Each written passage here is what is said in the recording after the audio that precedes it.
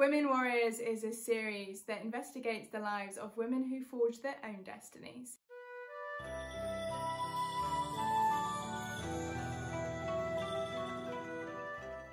What's up, warriors? Welcome to the channel. I hope you're enjoying what we do here, and if you are, please remember to hit that like and subscribe button. Today is the first of our Women Warriors series, and we have so many stories to tell, and we cannot wait to share them with you guys. But today we are visiting Japan, where the story of our warrior Takeko Nakano takes place. Once upon a time, there lived a fierce samurai, and her name was Takeko Nakano.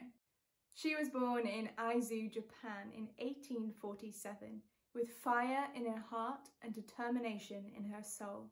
As a child, Takeko trained in martial arts, dreaming that one day she would become a samurai.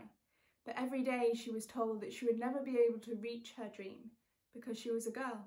But Takeko was determined to prove them wrong, inspired by the tales of female samurais before her Tomoe Gozen, Hojo Masako and Hanazo Gozen. She would become a samurai. She just knew it.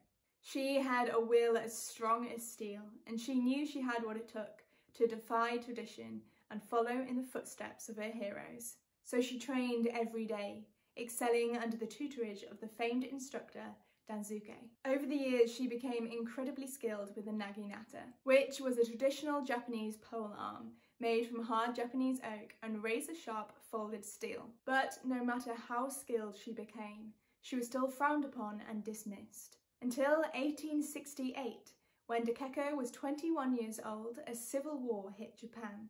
For years, Western leaders had put pressure on Japan to open their borders to trade. Many in Japan believed that they would have to modernise in order to defend themselves from the West, as gunboat diplomacy increasingly forced Japan to agree to these unequal treaties. And as such, a rift formed between the emperor's imperial court and the shoguns. This was known as the Boshin War, and Japan was torn apart.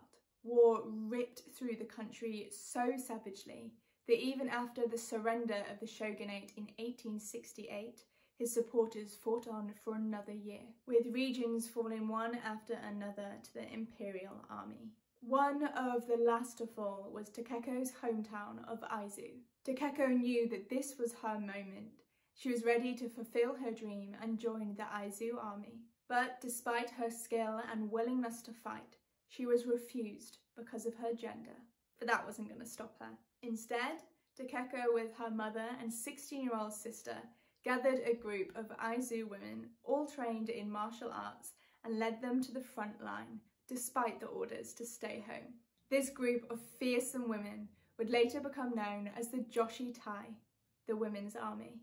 Having heard that the enemy was raping the women from captured cities and selling them into slavery, Takeko and the Joshi Tai pledged that they would not fall victim to their enemies. So they pushed on, meeting up with the Aizu Cannon Brigade, the army that Takeko had dreamed of being a part of. At first, the leader was unwilling to let them join his forces, but on rejection, the women knelt together and drew their blades, stating that if they were not allowed to defend their home, that they would take their own lives there and then. Takeko would not take no for an answer. Not this time. The army soon relented and granted the Joshi Tai permission to join them on the battlefield. Takeko was named leader of the Joshi Tai by the Aizu commander and was commanded to attack the Imperials at Yanagi Bridge. This bridge was known as the Bridge of Tears, as many beheadings were carried out there. Takeko knew that this could be a suicide mission. As the sun rose in the sky, so did the Joshi Tai. The Battle of Aizu had arrived.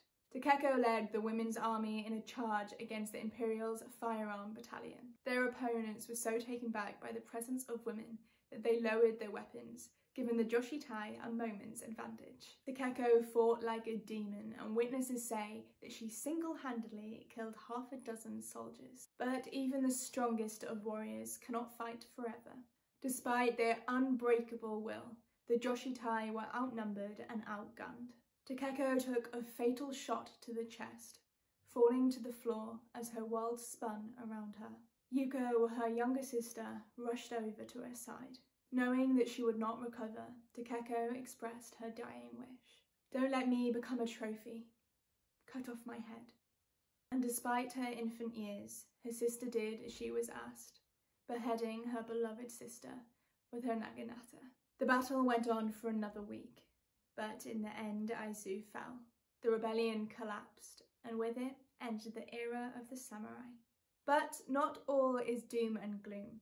Yuko survived the battle and escaped to a nearby temple with Takeko's head, burying it under a pine tree, where it remains to this day. The temple is named Hokai Temple, found in modern-day Aizubange. It remains a tribute to those who refused to go quietly.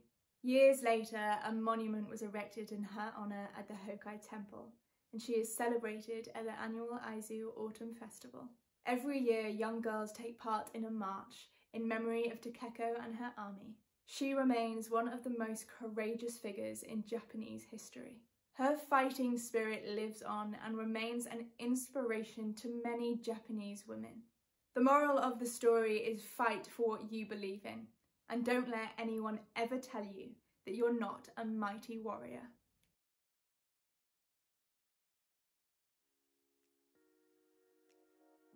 Thanks for joining us. I hope you enjoyed the video as much as I enjoyed researching and learning about this incredible young woman. And if you did, then please remember to support us by giving us a like and hitting that subscribe button.